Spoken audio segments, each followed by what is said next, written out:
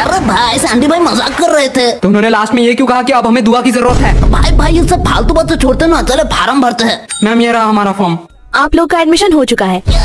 भाई हम इंजीनियर बन चुके हैं। मुझे तो डर लग रहा है ये कॉलेज कैसा होगा? अरे बच्चा लोग तुम लोग जो भी कहो कॉलेज तो एकदम कड़क है। भाई देखिए मैंने क्या कहा था। हाँ गोली यार तूने एकदम सही कहा था। मैंने भी इंजीनियरिंग यहीं से की थी। चलो आओ आओ तुम्हारा रूम दिखा देता हूँ। तो ये रहा तुम्हारा रूम। बाकी का डिटेल महेश बता देगा। और दल फ़ैन टिक करने के बाद बाकी का डिटेल इन्हें बता देना। भाई रूम तो बहुत बढ़िया है। हाँ देख काम हो गया क्या?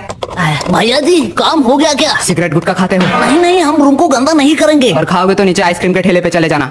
और गलती से भी सिगरेट विंडो से मत फेंकना। नीचे प्रोफेसर का रूम है। अरे भैया जी ये करने से आपसे पहले हम कूटे जाएँगे। नहीं नहीं प्रोफेसर ने देख लिया तो उसे तलब लग जाएगी। उसके लिए तो सिगरेट बैन है कॉलेज में। अगर छुपना है तो अलमीरा के पीछे बहुत जगह है और बारिश के टाइम छत से पानी टपकता है इसलिए रेलवे स्टेशन चले जाना सोने। वाह भैया जी आपको तो रूम का एक कोने कोने का पता है। बोलो यार उन्हें कैसे